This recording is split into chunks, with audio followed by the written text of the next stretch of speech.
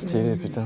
Salut, je suis actuellement en Guyane. On est invité par Ariane Group pour vivre de A à Z le lancement d'une fusée. Donc là, dans quelques jours, c'est le, décollage de la fusée Ariane 5, une des dernières. On va vraiment vivre de A à Z toutes les coulisses de comment ça se passe pour lancer une fusée. On va pouvoir aller sur le pas de tir alors que la fusée n'est pas encore là. Bref, ça va être fou. On va vivre ça vraiment de manière un petit peu exclusive. Juste derrière, il y a un bâtiment. On en reparlera un peu plus tard dans la vidéo. En attendant, on va découvrir comment ça se passe. Et il fait chaud, il fait beau. Putain, c'est trop bien la Guyane. C'est trop bien. Je vous le dis tout de suite. Incroyable endroit. Vraiment, c'est trop bien.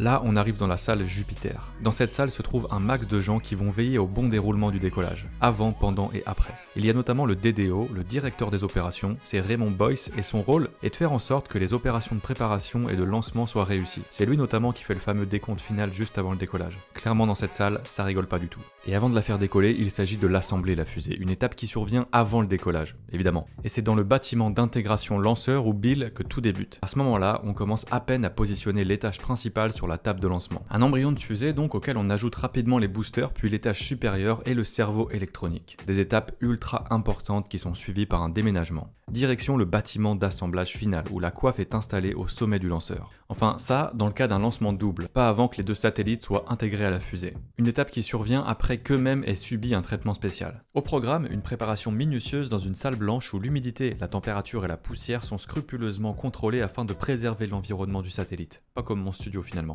Et à la veille du lancement, la fusée doit encore faire ses trois derniers kilomètres sur Terre, direction le Pape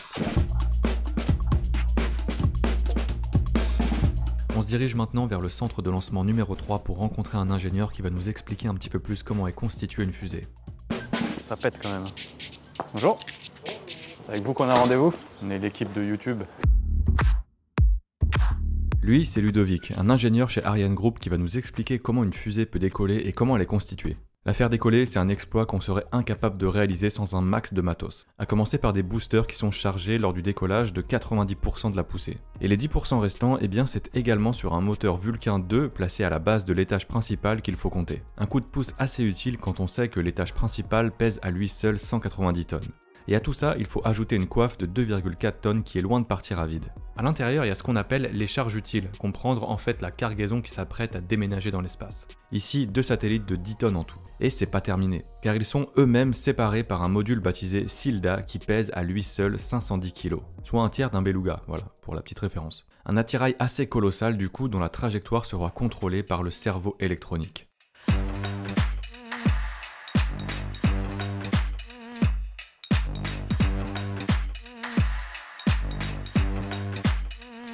Bon bah ça y est, on est dans le dur, on est sur le pas de tir de Ariane 5. En fait, on a plein d'éléments qui sont bah, pensés euh, au millimètre près pour que tout se passe bien. Et en fait, la fusée, elle va venir sur les rails à 3 km h environ pour se positionner ici. Et donc en fait, quand on voit un, décollage, à chaque fois, on voit plein de fumée, plein d'eau, plein de feu. Il y a des évacuations qui sont prévues pour ça, dont celle qui est juste ici en fait là. Bon évidemment, on peut pas aller là-dedans. Évidemment, on peut pas aller. J'aurais vraiment aimé faire du urbex là-dedans. Ça aurait été trop. C'est pas possible. C'est un bon spot de skate aussi. Lorsque les boosters euh, s'allument, les flammes sortent du carnot de l'autre côté. Ah ouais C'est une acoustique pas ouf par contre. Putain, c'est dingue. En fait, on voit vraiment, il y a des espèces de, plans inclinés comme ça, par lesquels vont sortir euh, l'eau et l'excédent de feu. Quand tu vois l'installation, ça fait hyper euh, science-fiction. En fait, on dirait un décor de Blade Runner un peu, c'est hyper cubique et tout ça. Il y a des grandes pentes, c'est gigantesque. Et euh, c'est vraiment dingue quoi. Donc ils sont là, elles sont là, les deux évacuations. Là ici c'est une tour en fait où va être relié toutes les installations pour mettre le carburant notamment. Et aussi là on voit tous les tubes qui vont en fait venir envoyer de l'eau ça s'appelle le déluge, donc ça va envoyer de l'eau sur la fusée. C'est pour euh, diminuer en fait euh, l'acoustique, donc le bruit, pour pas déranger les satellites en fait, pour éviter qu'il y ait des impacts avec l'acoustique qui est ultra bourrine évidemment lors du décollage, et aussi pour alourdir les gaz qui vont sortir, comme ça les gaz vont avoir tendance à retomber en fait. Et il y a un autre truc en fait, c'est que les, les fusées elles sont remplies de carburant, et là depuis tout à l'heure on entend des trucs, des espèces d'explosions c'est tout simplement, euh, il brûle l'excédent de, gaz qui sort parce qu'en fait le carburant en fait il est, en, il est euh, liquide en fait. Mais il y a quand même des morceaux de, des petites particules de gaz qui peuvent s'en échapper et donc le reste est brûlé et c'est ce qui fait ce bruit, euh, on dirait un, feu d'artifice mais pas du tout en fait. Donc bref ça y est on y est. Là on est sur les derniers lancements d'Ariane 5, il en reste 4, 5 dont celui qu'on va vivre, mais il en reste 4. Après on passe à Ariane 6 ça va être un autre, euh, un autre délire. Pour l'instant, c'est mortel, franchement. Champagne. Donc là, c'est de l'eau aussi qu'il y a dedans. Là, c'est de l'eau. D'où le casque. Hop là C'est pour montrer qu'on fait une activité un peu... Un peu sportive, quoi. Un peu sportive. Bon, il y a un truc. Là, on est dans un endroit en fait où là-bas, dans ce grand bâtiment, il y a Ariane 5 qui est totalement assemblée. Donc là, c'est la première fois du séjour qu'on va la voir pour de vrai et ça va être quelque chose je pense. En fait elle est donc sur un, système avec des rails qui traversent la jungle derrière donc on va la voir comme ça traverser la, forêt amazonienne jusqu'au pas de tir qui lui doit être par là-bas je crois. Bon ça je suis pas sûr. Donc là on aperçoit un petit booster je pense.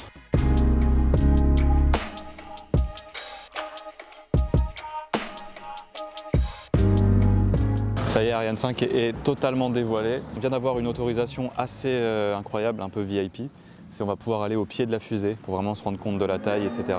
C'est parti.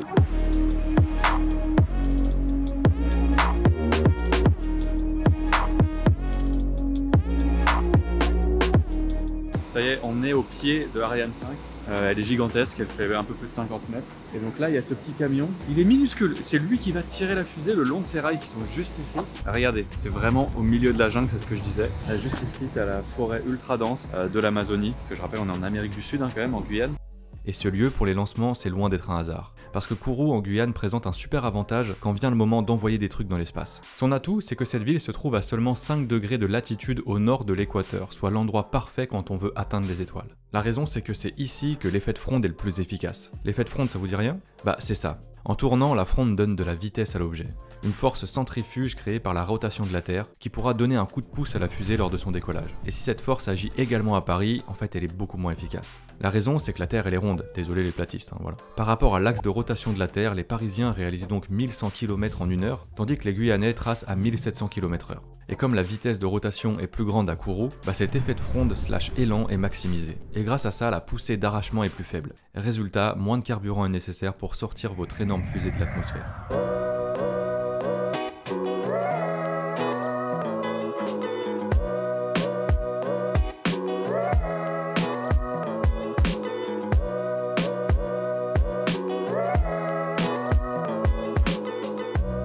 Donc on se rapproche de plus en plus euh, de notre but, c'est-à-dire le lancement de la fusée. Et là, ça y est, elle va enfin partir jusqu'au pas de tir qui est là-bas, sur les fameux rails, et on va la voir traverser toute la jungle.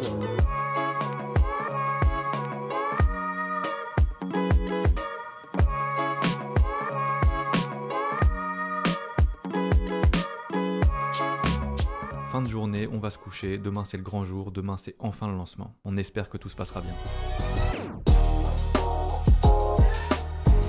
C'est le jour J, c'est le moment décisif. Juste derrière moi là-bas, à 5 km environ, il y a Ariane 5 qui va s'apprêter à décoller dans environ une demi-heure, à 18h03 je crois. Il y a une fenêtre de tir d'une heure trente, ça veut dire quoi? Ça veut dire qu'en gros il peut y avoir un retard d'une heure trente, mais normalement tout est ok.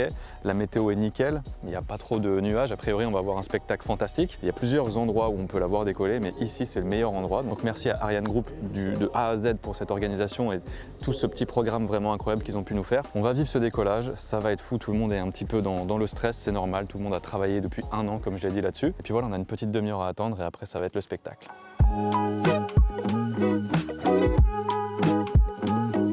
Vous pouvez le voir, c'est pas n'importe quel événement. Il y a d'autres euh, gens de la presse, il y a plein de, en fait, d'invités importants, il y a plein de gens vraiment qui sont là pour regarder le lancement. Apparemment, c'est unique, ça fait énormément de bruit, ça vibre, tu te prends une onde de choc et tout. Évidemment, moi, j'ai jamais expérimenté ça, donc j'ai aussi cette appréhension et je me demande vraiment ce que ça va, ce qu'on va se prendre en fait. Ce qu'on a pu apprendre avec le DDO, c'est-à-dire ils ont tous les signaux de bon comportement de la fusée. Euh, ils nous expliquaient que tout doit être au vert, tous les paramètres doivent être au vert. La météo, elle est avec nous. Le soleil va commencer doucement à se coucher, donc on va avoir une super vue, ça va être mais j'ai un peu peur du bruit quand même.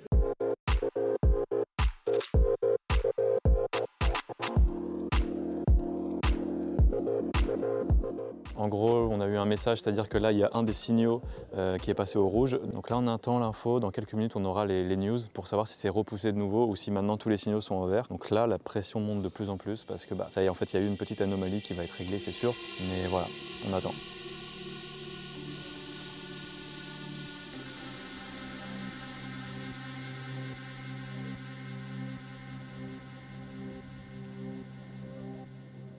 Le message du gars là, 7 minutes après bah, Il est 17. Je pense qu'on va se prendre un autre retard. J'espère que ça va décoller aujourd'hui surtout.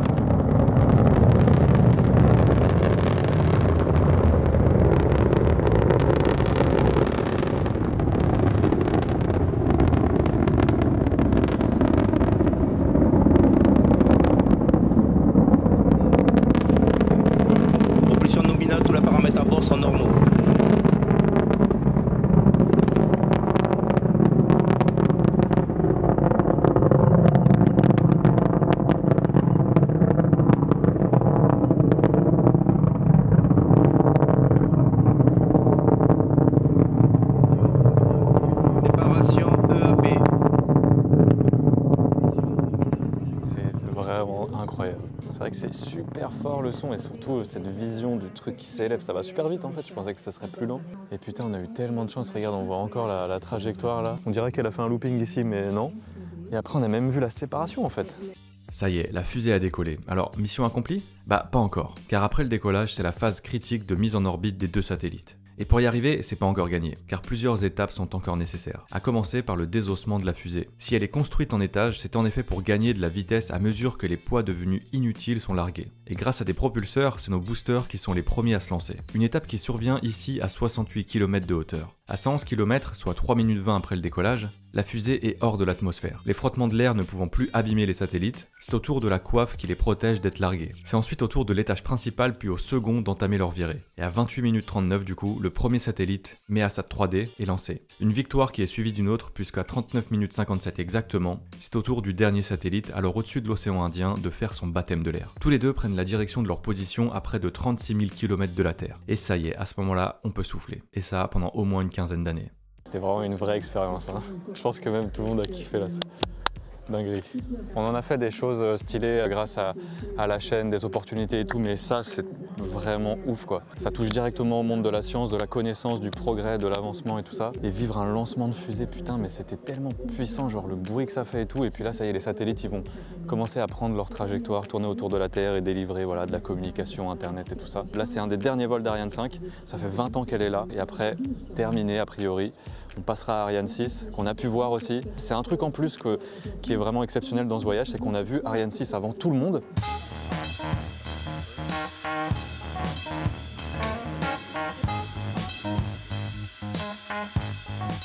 Bon là je crois que c'est le clou du spectacle de notre euh, visite. En gros ici c'est le bâtiment euh, d'assemblage de la coiffe et des satellites. C'est haut donc en fait ce qui est bien c'est que là on voit un petit peu le futur euh, du spatial avec Ariane 6 qu'on peut voir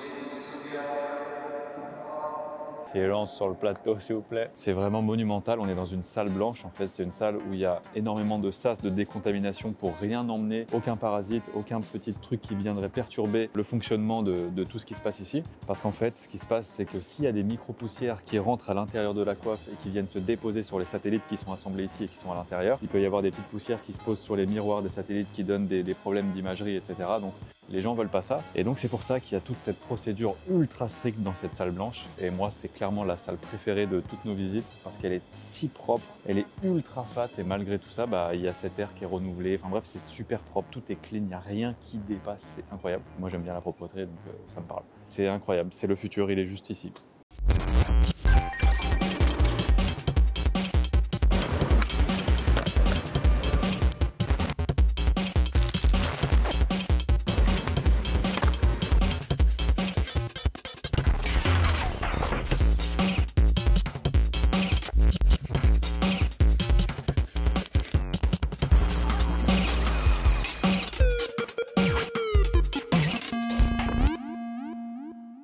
C'était un voyage exceptionnel et c'était trop bien, ultra émouvant, très puissant. Un grand merci à Ariane Group pour euh, cette invitation et ce programme incroyable vraiment. Merci à tous pour ce que vous nous faites vivre et j'espère que vous avez apprécié cette vidéo et moi je vous dis à très bientôt car comme d'habitude la science n'attend pas les potes.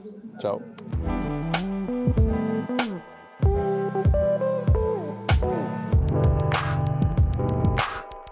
c'est le troisième naturaliste qui nous dit qu'il n'y a aucun souci avec les animaux dans la jungle, il faut juste être vigilant. Là, s'il y a un jaguar qui arrive. Si là je vois un jaguar. Ouais. Ah putain, tu dis ça, il y a un jaguar derrière toi là. J'ai eu un peu peur.